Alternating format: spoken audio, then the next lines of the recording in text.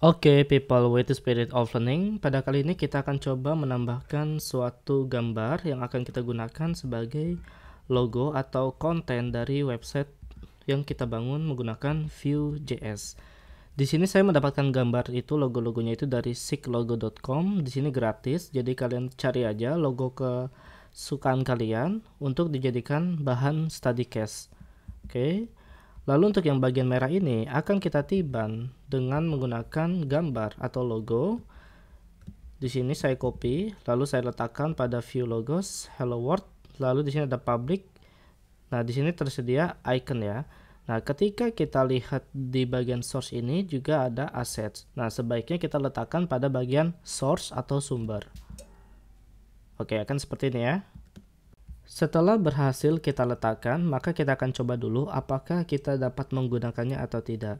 Jadi di sini kita masuk kepada Visual Studio Code, lalu kalian menuju app.view.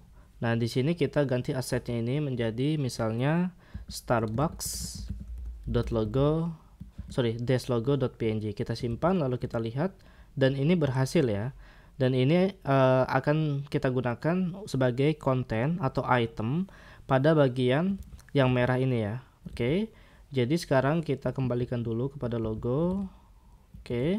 lalu kita masuk kepada uh, bagian logos.view nah caranya itu ini bisa kita copy aja. Lalu ini kita hapus semua bagian merahnya karena kita tidak membutuhkan semuanya. Nah di sini kita kasih misalnya Starbucks logo.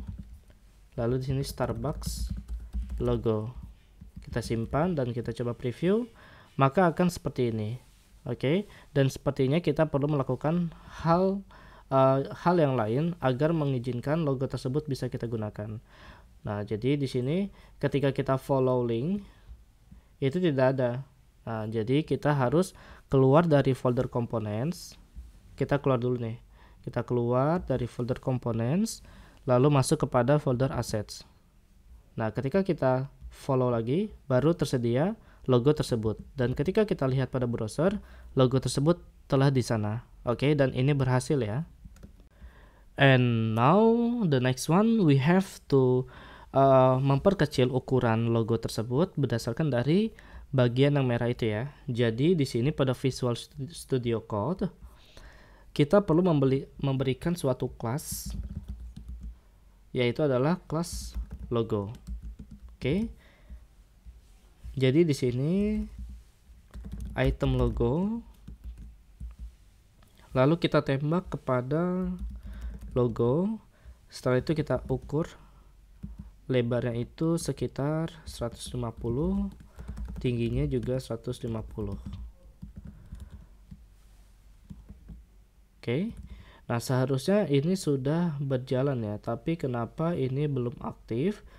Ternyata di sini item logos Nah, maka akan seperti ini ya. Dan untuk background merahnya bisa kita hapus saja. Oke. Jadi di sini kita sudah memiliki suatu logo. Baik. Jadi untuk yang H ini kita kasih kelas uh, title header seperti ini ya. Nah, setelah itu di sini kita beri lagi title header. Lalu kita kasih margin bottom itu sekitar 30 pixel. Oke. Kita tingkatin lagi 80. Nah, maka akan seperti ini ya.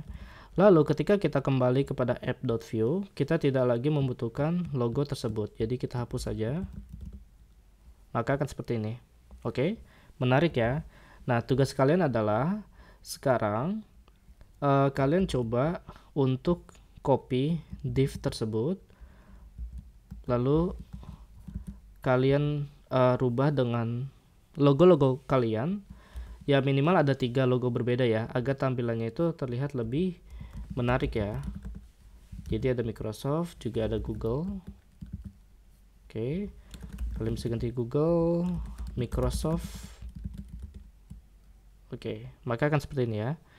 Nah sekarang tugas kalian itu mempersiapkan logo lainnya untuk ditempatkan pada dokumen website tersebut